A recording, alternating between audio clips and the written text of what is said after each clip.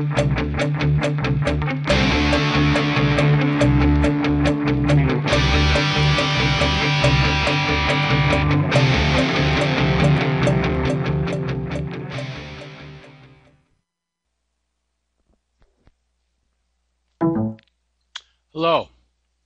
my name is Tom Hanley. I'm an instructor for Juniper Networks Education Services. Uh, today I'd like to talk to you about uh, high availability clustering. Right, so with high availability clustering, we're taking the same, two of the same exact type of SRX device, right, same model, right? And connecting them together, we have a couple of connections, a control plane connection and a data plane connection. The control plane is an active passive uh, scenario, so only one of the uh, one of the SRXs will be the control plane, right? And then uh, we could also have an active active data plane redundancy scenario right? Uh, so with this in mind, we have a stateful type of session failover that occurs, right? And that can include things like network address translation, application layer gateways, any IP security, rights uh, association information could also be uh, synchronized as well. All right, and, and this will kind of also uh, include uh, automatic configuration um, uh, synchronization between the new two nodes. So if we make a configuration change, the change will uh, be present on both nodes at the same time.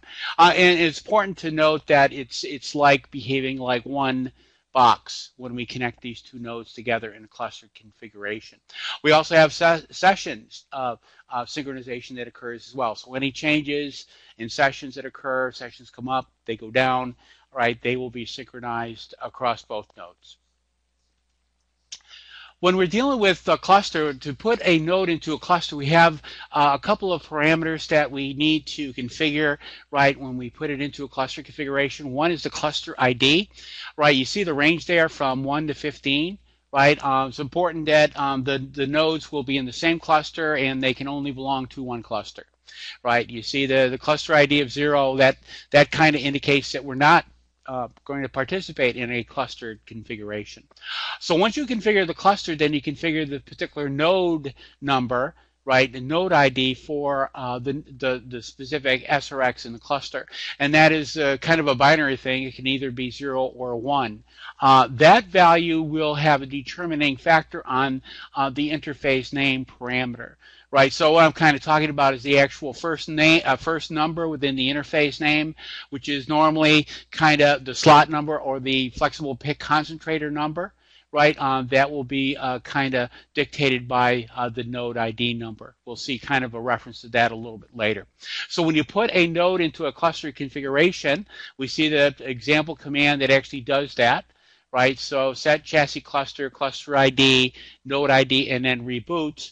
We would do this first to the node we want to be uh, the primary node within the control plane, right? And then once that is completed, reboot and comes up into a cluster configuration, then we would do the same thing uh, with the other node, uh, which will be the secondary node in the control plane.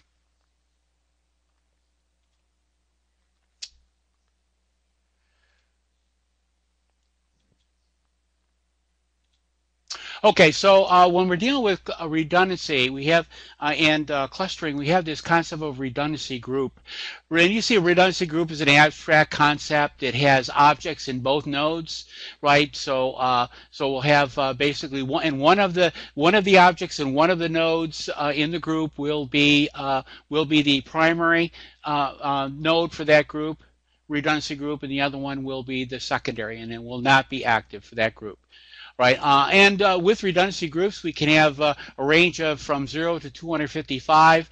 Redundancy group 0 is reserved specifically for the relationship between the two routing engines, the control plane, right? So routing engine 0, routing engine 1 in the control plane would be present within redundancy group 0. Redundancy group 1 through 255 are for redundant interfaces called RETHs, right? Um, so basically, and and we'll have one uh, uh, one node will be active. Uh, that will be the active interface uh, within that uh, redundancy group configuration, just like it is in the control plane. what we're showing you here is the actual configuration, uh, and I'll kind of demonstrate this a little bit later of of the redundant interfaces. So what we need to do first is we need to define the reth count. Please note that this is done in edit uh, chassis cluster configuration. So we configure the reth count. This basic because these are pseudo interfaces. This tells Junos right to create uh, the number of pseudo interfaces that we need to support right, for this application. So we define what that number is here. Then we configure the reths themselves, redundant interfaces, right? Uh, and when we kind of, let's say if we put a reth count of zero, that will that will mean that Junos will automatically create reth zero and reth one uh, pseudo interfaces. So if we're configuring the reths, we'll configure the reth number. Underneath the redundant uh, Ethernet options, we'll define what redundancy group it's a member of okay? And then uh, we'll configure the interface properties as well. Right, what we're seeing up here is the actual uh, interfaces that would be from the two different nodes. So one interface from node 0, right, it, it, it is a member of uh, the reth parent, okay? And then the other interface, right, in the other node, in, which case could be node 1, right, and it's uh, a member of reth 0, uh, the reth group as well, which could be reth 0.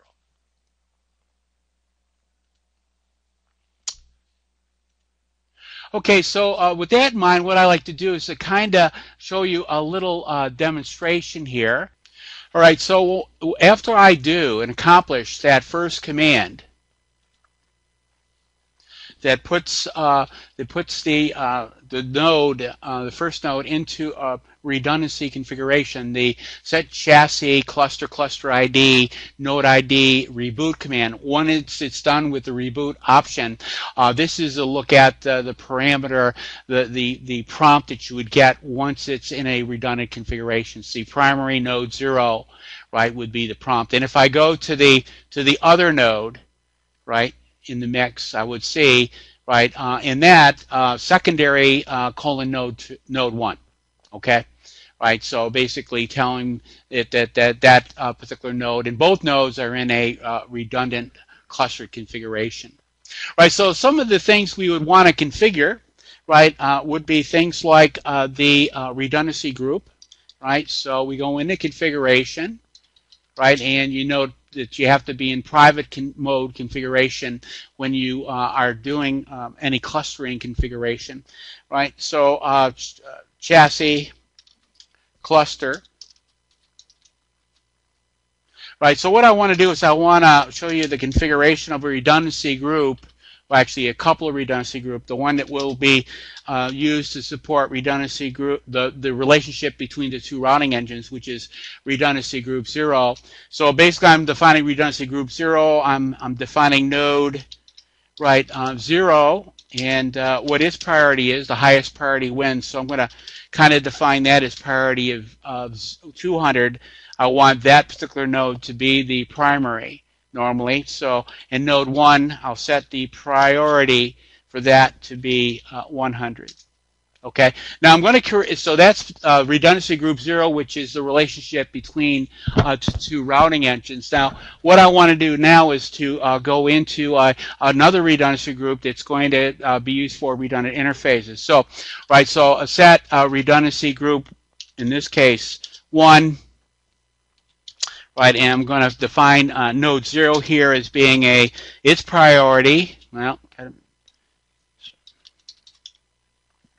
and I'm going to find that is arbitrarily as being 150. I, I also want to prefer that to be the uh, primary for uh, this redundancy group.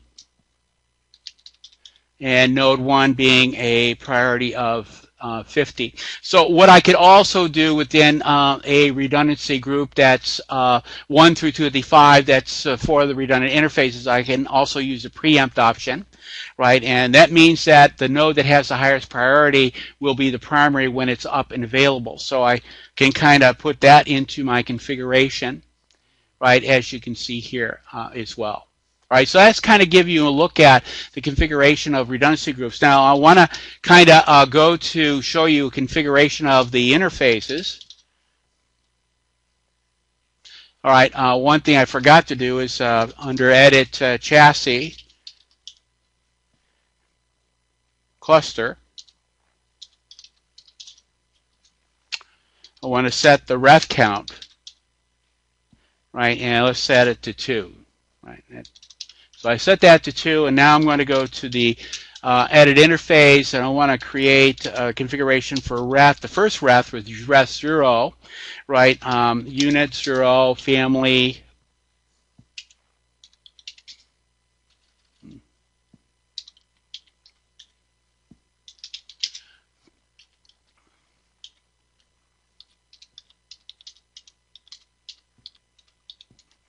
Right, so the interface properties are configured there. So also within the reth, I want to uh, assign it to, this is where I associate it with the redundancy group. So uh, with uh, redundant Ethernet options, redundancy group, right, uh, 1.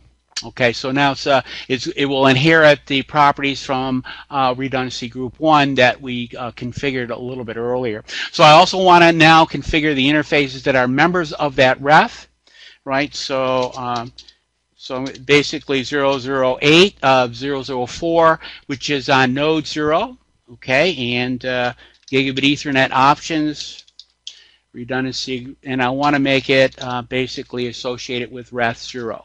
Right, so that would be the interface that would be on node 0. So the interface is on node 1, right, um, basically would, uh, because this is an SRX 240, we have basically five slots. So the first node, node 0, will be slot numbers for the first uh, uh, digit in the interface name, 0 through 4, right? And for node 1, it would be um, 5 through 9. So uh, this one would be 5 slash 0 slash 4, right? And uh, setting up the gigabit Ethernet options, redundant parent, and then uh, reth 0 here again.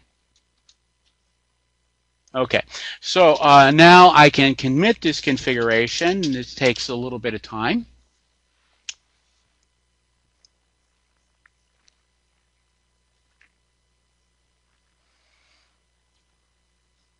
Then uh, once it's done um, uh, with this uh, commit operation, I want to show you a couple of commands uh, that, uh, to verify right uh, what we've um, actually configured to see if it's uh, it's been accomplished correctly.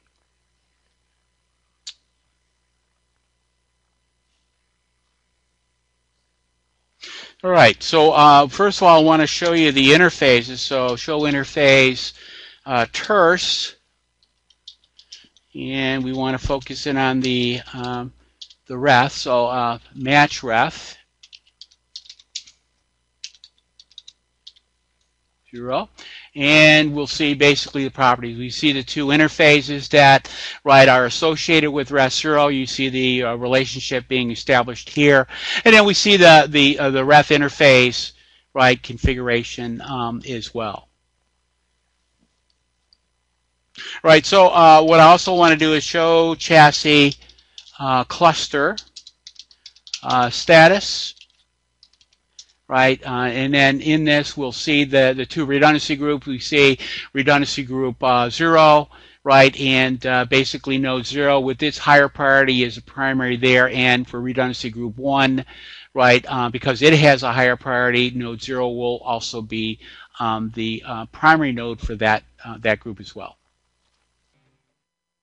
Visit the Juniper Education Services website to learn more about courses View our full range of classroom, online, and e-learning courses. Learning paths, industry segment and technology specific training paths. Juniper Networks certification program, the ultimate demonstration of your competence. And the training community, from forums to social media. Join the discussion.